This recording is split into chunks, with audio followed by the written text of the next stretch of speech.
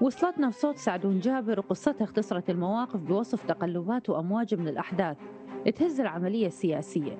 مرة بتسريبات صوتية تزرع الشكوك بين السلطات وبعدها شبكات ابتزاز تثير فضول المتصدين لكشف المتورطين. قبل لا تنهار أعمدة النظام وتضيع حسابات الزعامات بين الحفاظ على الاستقرار والمجاملة على حساب الفساد بعنوان ماكو سعفة ما تهزها ريح. مثلا شبكة التجسس اللي انكشف أمرها بمكتب رئيس الوزراء وتفاعلاتها مستمرة بزعزعة العلاقة بين القيادات ونفوذ السلطات ولدت شبكة ابتزاز بمحافظة ذي قار أبطالها محافظ سابق وأعضاء بمجلس المحافظة. صحيح القوات الأمنية اعتقلت عضو لجنة الخدمات بمجلس المحافظة عمار الركابي والنساء اثنين استخدمتهن الشبكة بخطة محكمة. هدفها الإطاحة بالمحافظ مرتضى الإبراهيمي. لكن المحافظ السابق محمد هادي اللي صدرت عليه مذكرة اعتقال هارب خارج المحافظة. والمعلومات تقول المطلوب موجود بالعاصمة بغداد وحماية من شخصية قريبة على السياسة والسلاح. والسبب تجمعهم علاقة قرابة من بعيد على طريقة أني وأخوي على ابن عمي وأني وابن عمي على الغريب. لكن القصة بعدي بأولها وخيوط الشبكة بها مسؤول محلي درجته عضو بمجلس محافظة ذيقار أوامر اعتقاله جاهزة وجوز تتنفذ بعد ساعات لأن الشبكة طلعت عندها جيوش إلكترونية يقودها إعلاميين وناشطين بالمحافظة. هدفها هو ضرب الاستقرار الأمني والسياسي وقيادة أعمال شغب بدون أسباب.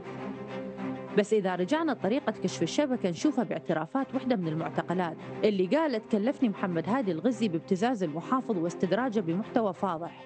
يعني القضية واضحة وما تحتاج نخلي نقاط على الحروف. بس دقيقة شبكة ذي قار من وراها؟ وشنو علاقتها برئيس حكومة سابق؟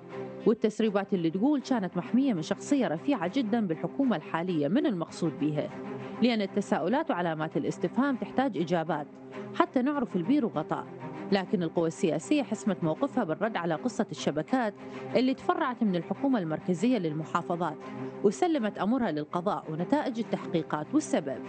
السالفة ثخينة وجوز تشمل رؤوس متنفذة.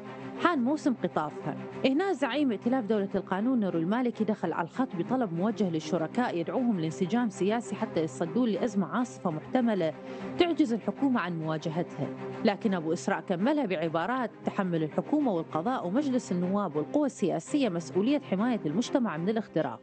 وقبل لا يحذر من فقدان التوافق السياسي ونتائجه على هدم وتعطيل مسارات العملية السياسية اعتبر الأزمات مو حالة غريبة لأن غالبية الدول والحكومات بالعالم تتعرض لعواصف. بس أكو جهات سياسية من وصلتها رسائل المالكي ردت عليها باستغراب وقالت أبو إسراء وبأقل من أسبوع مرتين حذر من الانهيار شنو السالفة؟ والحاج المالكي عنده معلومات؟ الله أعلم. هاي كلها بصفحة وبيانات هيئة النزاهة بصفحة.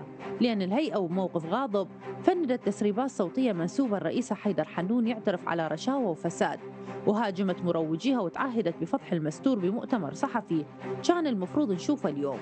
لكن الهيئة قبل ساعات معدودات أجلت المؤتمر وغيرت لهجة الخطاب وقالت وكلنا أمرنا للقضاء اللي فتح تحقيق بالتسريبات. بس الهيئة ورئيسها ليش غيرت نبرة الكلام؟ وشنو الرسائل اللي وصلتها؟ يعني ملحمة الشبكات وحكاية الابتزاز يجوز بعد بها مفاجآت؟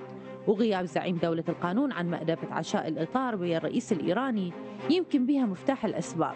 وحتى تخف التوترات بين الأقطاب. لازم نرجع ونسمع. يا رجب على الورد